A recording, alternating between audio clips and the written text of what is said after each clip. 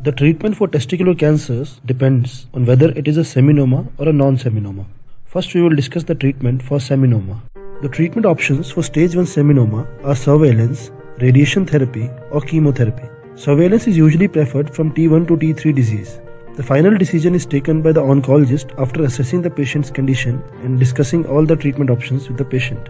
For stage 2 seminoma, the treatment depends on whether it is stage 2A, 2B or 2C. For stage 2A, the treatment options are radiotherapy or chemotherapy. For stage 2B also, chemotherapy and radiotherapy are the treatment options, but chemotherapy is preferred over radiotherapy in most of the cases. And for stage 2C, chemotherapy is the treatment of choice. For stage 3 disease also, chemotherapy is the treatment of choice. So these were the treatment options for seminomatous germ cell tumors but the final decision is taken by the oncologist after assessing the condition of the patient and discussing with the patient the toxicities with various treatments. After I received chemotherapy for seminoma, doctor did the surgery. He told me I had some residual disease after chemotherapy. Yes, in some cases of seminoma, residual disease may be present even after chemotherapy. In such cases, surgery may be required depending upon the scan findings and if viable tissue is found after surgery, Further chemotherapy may be given. Yes, in some cases of seminoma, residual disease may be present even after chemotherapy.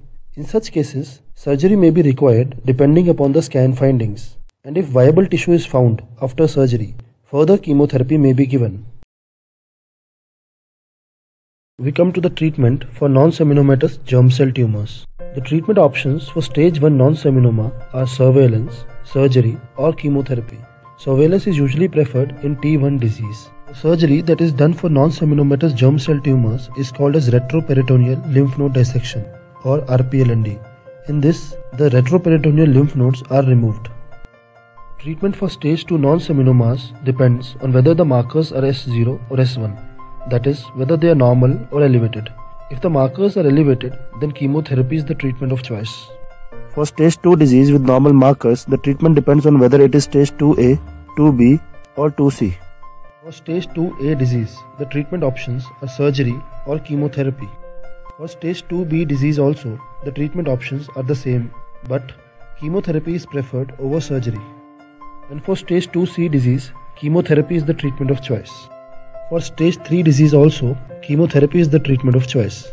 So these were the treatment options for non-seminomatous germ cell tumors. Again, always remember that of all the treatment options, the final decision is taken by the oncologist after assessing the condition of the patient and discussing the various treatment options with the patient. After my surgery for non-seminoma, I was given chemotherapy also. In some cases after surgery, chemotherapy may be required, depending upon the stage of the disease.